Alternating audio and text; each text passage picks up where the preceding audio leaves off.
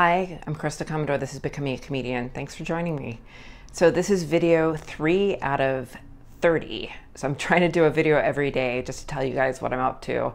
I'm excited because I'm actually heading off to a workshop right now. And I've had some difficulties in this workshop, mostly because our, our teacher is encouraging us to voice record everything.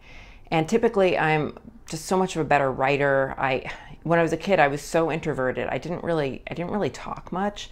I would basically listen to my grandparents, my parents. I would just friend I would just they would tell me their stories and I would just sit there and just be silent. I just I just didn't interact. And I had a boyfriend. Most of my boyfriends are actually pretty bombastic. They were just kind of like her ho ho ho ho loud and telling me their opinions and I just sort of adopted their opinions. So doing stand up is really it really is a dream. But I've been writing all my material down first, and then, you know, sometimes it can feel monologue at first. And so she's encouraging us to voice record everything, which has been really helpful, but it's also scary because, again, I'm.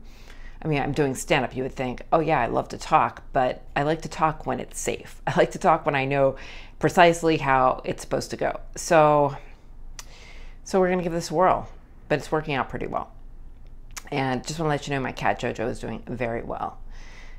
thanks for everyone who wrote in.